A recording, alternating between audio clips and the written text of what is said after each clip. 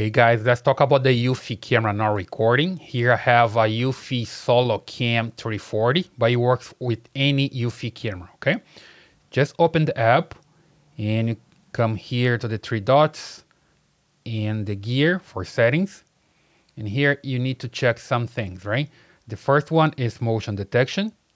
There we go. So it's enabled here. When there's some motion in front of the camera, the camera is going to record. Also the activity zone at first, there are different activity zones that you can set up. Here, a blue one and a green one. I don't set up any of them, which means the camera is going to record everything in the area, not only a specific zone. And back here, you can select human, vehicle, or all their motions, right? If you want to record something in front of the camera, not a human, for example, you must enable all other motion. Let's say the camera is moving, for example, and you want to record that. You just need to enable all other motions. If you want to record vehicles passing by, just select vehicle here. Adjust the sensitivity, the detection sensitivity, and AI tracking if you want to track somebody in front of the camera, right? That's pretty important.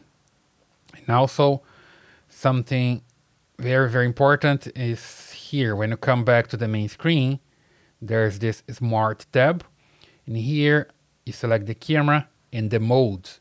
When you're home, for example, you can just select here that you want video recording and notification, but you don't want camera, a uh, camera alarm or light alarm, for example, right?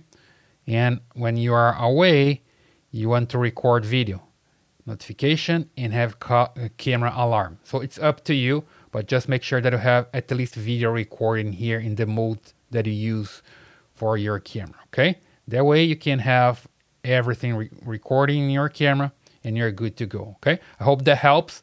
Please leave your comments here, subscribe to this channel, and I see you in the next video.